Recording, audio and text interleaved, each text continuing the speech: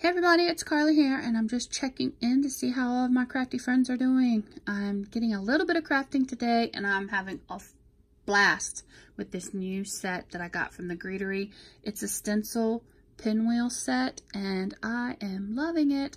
So you get four stencils that build on each other to create a pinwheel border, and it's awesome. And then you get the individual, so if you want to layer and die cut them. So I got, like I said, this from the Greetery and I got, see there's a list of my cards. And I got the coordinating stamp set and dies. I haven't cut them all apart yet. So Carly needed a card, so I made a couple for her to choose from, and she's going to take this one. She's going to be celebrating a co-worker's birthday today. And look at my messy desk. Yeah, it's a mess. So this is the card that I made. It's so much fun, you guys, and it's so fast and so quick. So I just used the different stencils and I need to clean them. Oops. They're right here. So they build on each other to create, create this pinwheel border.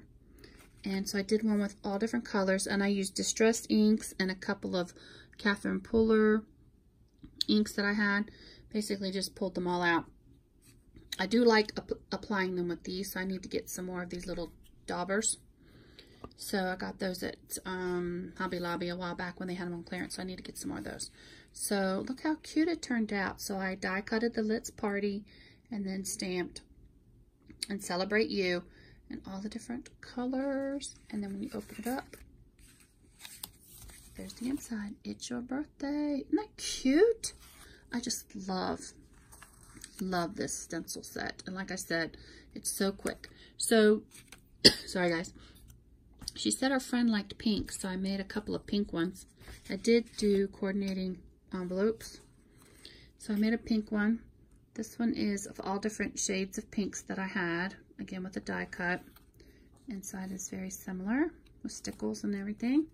And then this one, I just picked a couple of shades of pink and just alternated them. I like this one. Carly liked this one, but she went ahead and is going to give the rainbow one um, to a friend. But aren't they cute? You guys, this is such a fun um, set of tools to use. Again, it's the Pinwheel Party from the Greetery.